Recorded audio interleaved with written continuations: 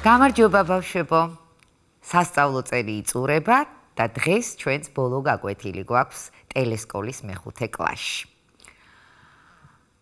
ასეთ უჩვეულო სიტუაციაში, ვითარებაში, ასე სახელდახელოდ დაგეგმილი ეს ტელეპროექტი მიუხედავად იმისა, რომ სულ რაღაც ათკვირას გაგრძელდა, როცა ჩვენ სასწავლო მასალას გადავხედე და თქვენი მიერ გამოგზავნილი, შესრულებული და გამოგზავნილი დავალებები ვნახე, უჩვეულოდ გაკვირვებული დავრჩი. თურმე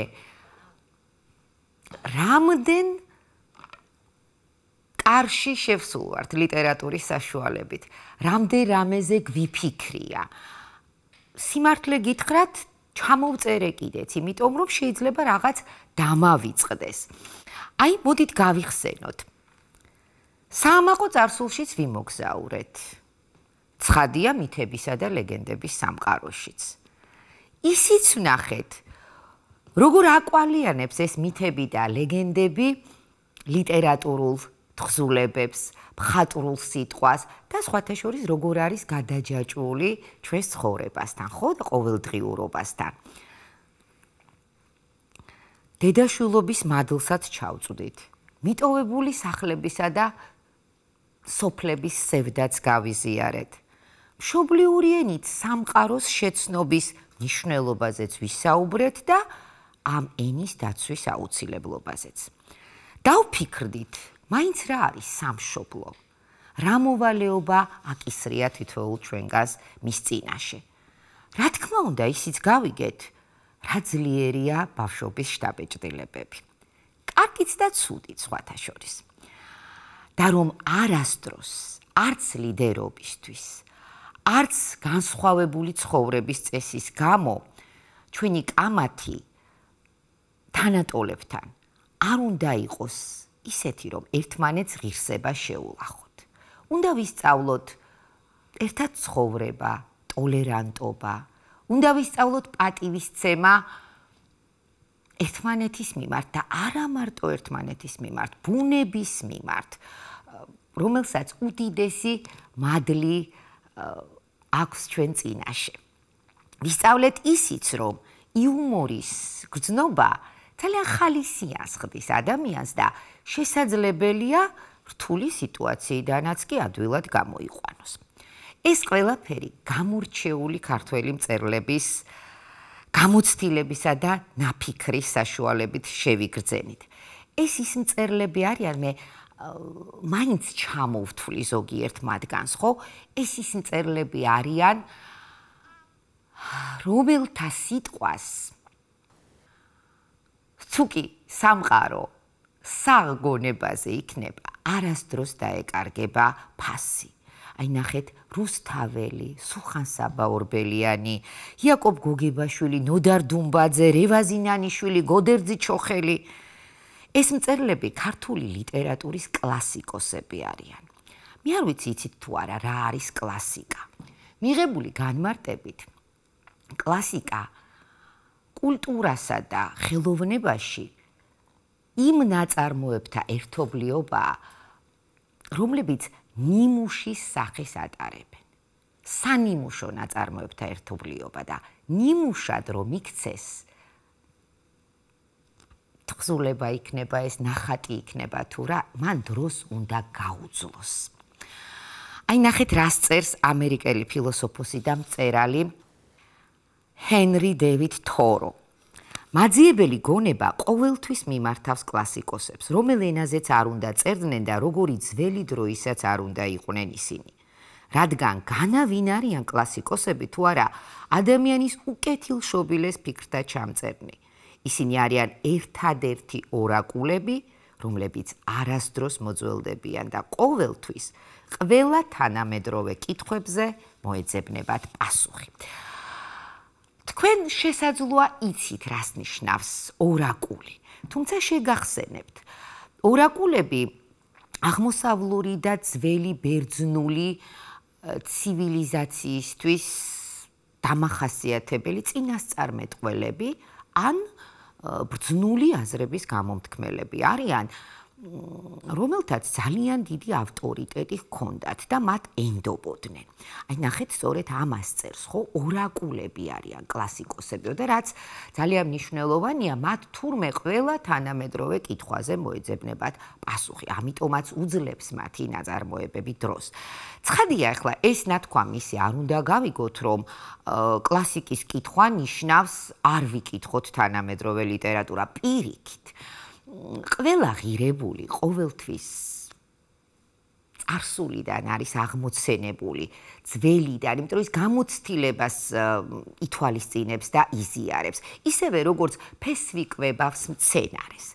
შესაბამისად, როცა ჩვენ წაკითხული გვაქვს კლასიკა, ჩვენ უფრო ადვილად ვხვდებით, რა იმემკვიდრა ახალმა მწერლობამ ძველისგან კლასიკოსებისგან რა შემატა რით გაამდიდრა ან ვერ შემატა და ვერ გაამდიდრა ის ვფიქრობ ტელესკოლის გაკვეთილები იმაშიც დაგეხმარათ რომ განგემტკიცებინათ სკოლაში გავლილი მასალა ლიტერატურის სხვადასხვა ჟანრის შესახებ. ხო ჩვენ მრავალი ჟანრის სხვადასხვა ნაწარმოები განვიხილეთ. იგავები, მოთხრობები, დრო დაუთმეთ ფოლკლორსაც, ხალხურ სიტყვიერებას. უყურადღებოთ არ დაგვიტოვებია პოეზია, არათუ უყურადღებოთ დავტოვეთ შესანიშნავი ქართველი პოეტის ანა კალანდაძის ლექსებით წარმოვადგინეთ ის. ვნახეთ რა საშუალებები აქვს ლიტერატურას იმისთვის, რომ განსაკუთრებულ სიტყვათ აქციოს ესა თუ ის ფაქტი. ეს იქნება მეტაფორა, შედარება, იუმორი, ირონია, თვით ირონიაზეც კი ვისაუბრეთ, ხო? თუ მიაქციეთ ყურადღება, ყოველი შემდეგი გაკვეთილი ჩვენი იყო წინას გაგრძელება. გამოგიტყდებით, იცით, მე მიყვარს სასწავლო მასალის ასე დალაგება, იმიტომ რომ ასე მგონია, ასეთ ვითარებაში უფრო სისტემური ხდება მოსწავლის ცოდნა, რადგან ერთსა და იმავე საკითხს გამდიდრებულს, რა თქმა უნდა, სხვა თემებით ის უკვე უყურებს სხვადასხვა ჟანრის, სხვადასხვა ავტორის პოზიციიდან. ასე რომ თანმიმდევრობა მინდა გითხრათ შეგნებულად დავგეგმე ასე. თვალსაჩინოს გაფართოებისა და თემების უკეთ ახსაქმელად ჩვენ მხატვრული ტექსტების გარდა გახსოვთ ალბათ რომ არ მხატვრულ ტექსტებსაც გავეცანით. ისეთებს როგორებიც არის ბიოგრაფია, მოგონებები, საინფორმაციო ტექსტი, აგრეთვე ჩვენი საფიქრალი, ზოგჯერ არატექსტური მასალითაც გავამდიდრეთ, ხო? რაღაც ბიძგი მივეცით არატექსტური მასალით. აი აქ ვგულისხმობ თუ გახსოვთ ჩვენ წარმოვადგინეთ ზოგიერთ თემასთან დაკავშირებით ნახატები.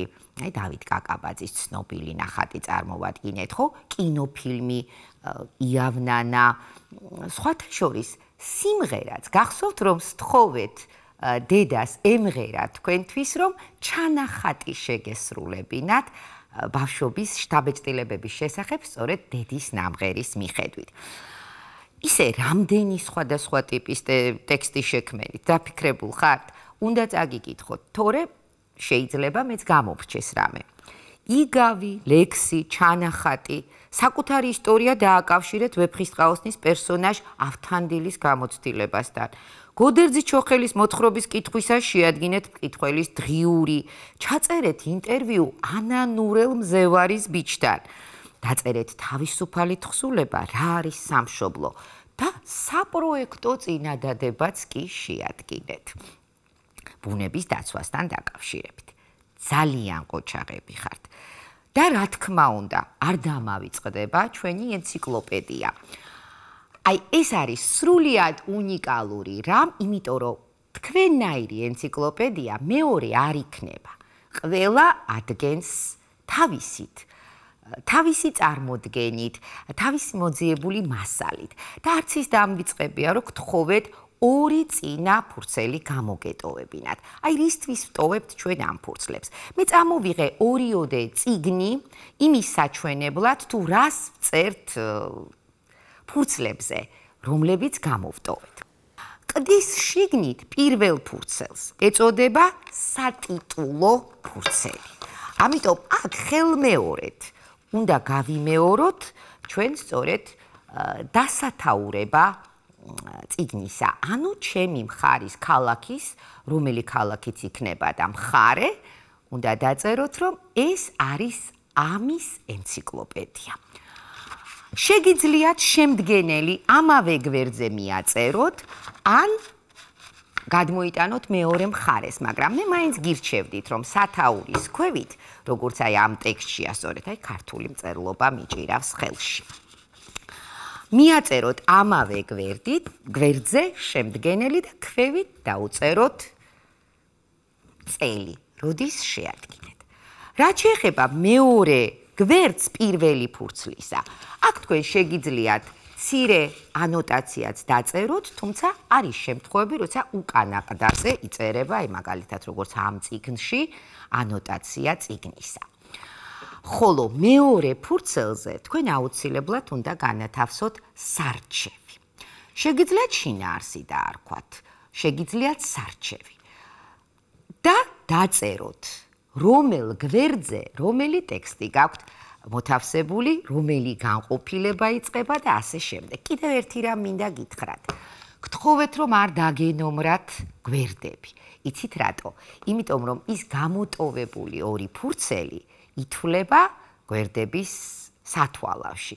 შესაბამისად, პირველი სატიტულო ფურცელი პირველი გვერდია, მეორე გვერდი, მესამე, მეოთხე, ანუ თქვენი მესამე ფურცელი მეხუთე გვერდი იქნება. ეს გამოგადგებათ, მე მგონი ეს ინფორმაცია ვინ იცის, რა ციგნებს შეადგენთ მომავალში. კიდევ ერთი რამ, იცით, თქვენ შეგიძლიათ დაამატოთ ჩვენ ტელესკოპის გაკვეთილების ფარგლებში ხუთი განყოფილება შევადგინეთ, ხო? თქვენთან ერთად, უბრალოდ თქვენ შეადგინეთ ეს ყველაფერი. მაგრამ თქვენ შეგიძლიათ მოიფიქროთ რამე ასევე საინტერესო, რომელიც არის თქვენ მხარესთან ან ქალაქთან დაკავშირებული და სხვა განაყოფი, სხვა ნაკვეთი ტექსტისა ისევ ისე სათაურს მისცემთ და შეიტან შესაბამის მასალას. და სხვათა შორის მასწავლებელთან შეთანხმებით შეგიძლიათ სექტემბერში, როცა სკოლაში დაბრუნდებით, მოაწყოთ კიდეც პრეზენტაცია. დიდი სიამოვნებით გეწევით, თუ კი დამპატიჟებთ. და კიდევ ერთი, თქვენ ალბათ იცით, რომ აა ბევრი პროგრამა არსებობს, კომპიუტერული პროგრამა, რომელშიც შეიძლება გაკეთდეს წიგნი ელექტრონულ ფორმატში. თქვენ შეგიძლიათ თქვენი ენციკლოპედიები გადაიყვანოთ ელექტრონულ ფორმატში და ინტერნეტშიც კი განათავსოთ.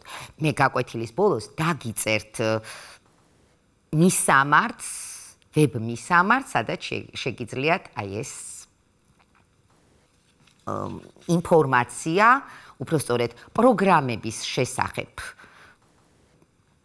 ინფორმაცია მოიძიოთ. ახლა კი მინდა სხვა საკითხზეც გესაუბროთ. კერძოდ, მიუხედავად იმისა, რომ ჩვენ ლიტერატურის ფარგლებში ყურადღება გავამახვილეთ ზოგიერთ გრამატიკულ კატეგორიაზე ჩვენ ცალკე არ გამოგვიტანია სამსჯელოდ. გრამატიკის ისეთი საკითხები, რომელთაც ჩემი აზრით ჭირდება სისტემა სისტემატური მუშაობა, პრაქტიკული მასწავლებელთან ერთად და გონია რომ ტელეგაკვეთილის ფორმატი მაინდა-მაინც საამისოდ მოსახერხებელი არ იქნება. ამიტომ მე თქვენ მოგიმზადეთ სათამაშო გასართობი გრამატიკული მასალის გასამეორებლად და თქვენ ხედავთ ეკრანზე რომ განაწილებულია ერთგვარი მოზაიკური პრინციპით დაალაგებულია სიტყვები, აი ფაზლებს ეძახით, ხო, თქვენ ასეთ აწყობილ სივრცეს. და ზემოთ მოცემულია დასახელება მეტყველების ნაწილებისა. თქვენ თითოეული ეს სიტყვა, რომელიც მოთავსებულია მოზაიკის თითო ნაწილში, უნდა შეუსაბამოთ მეტყველების ნაწილს. და ნახავთ მე თუ ყველაფერს კარგად გააკეთებთ ძალიან ლამაზი ნახატიც გაიხსნება, როცა ყველა ბარაც გაანაწილებთ. და ბოლოს მინდა რამდენიმე რჩევა მოგცეთ ზოგადადაც გაგატანოთ არდადეგებზე და ციგნებთან დაკავშირებითაც უპირველეს ყოვლისა. გაგიკვირდებათ, მაგრამ პირველ რიგში არ ვასახელებ ციგნებს. ისეირნეთ ბევრი. ისუნთქეთ ჰაერი. გაიხარეთ ყვავილებით, ბალახით, იმხიარულეთ, იცინეთ. იყავით კმაყოფილი ურთიერთობებით. და შეადგინეთ არდადეგების დღიური, რომელშიც შეიტანთ თქვენ ყოველდღიურ შთაბეჭდილებებს, როგორც წაკითხული ციგნების შესახებ, ისე განსაკუთრებული ამბების შესახებაც. სხვათა შორის თქვენ ამ დღიურებში შეგიძლიათ შეინახოთ ბალახი, ფოთოლი, ყველაფერი ის, რაც გაგახსენებთ სწორედ ამ არდადეგებს. რაც შეეხება ციგნებს, მე ცხადია ყოველას დასახელებას აქ ვერ მოვასწრებ და მე მგონი უმჯობესიც იქნება, ამიტომ ანიშნებენ რომ გაკვეთილის დრო მთავრდება, როცა გაკვეთილის ბმული აიტვირთება ტელესკოპის Facebook გვერდზე კომენტარის სახით მე მოგაწვდით სიას იმ ციგნებისა, რომლებსაც ვფიქრობ რომ რომლებიც საინტერესო შეიძლება იყოს თქვენთვის, ოღონდ, რა თქმა უნდა, თქვენ თქვენი ინტერესის მიხედვით უნდა არჩიოთ. ახლა კი ჩვენი დამშვიდობების დრო მოვიდა. გემშვიდობებით, სიყვარულით, გისურვებთ ბედნიერ ზაფხულს და მინდა გითხრათ, რომ შეიძლება რომელიღაც გაკვეთილი ისეთი საინტერესო არ იყო, შეიძლება ზოგი მეტად, მაგრამ თავარია ვიყავი გულწრფელი, რასაც ვლაპარაკობდი, როგორც ვლაპარაკობდი. გულწრფელობა კი მგონია ის თვისება, რომელიც საქმესაც ალამაზებს, ადამიანსაც და ურთიერთობასაც. კარგად ზანდებოდეთ. ბედნიერს აფხულს კისურს.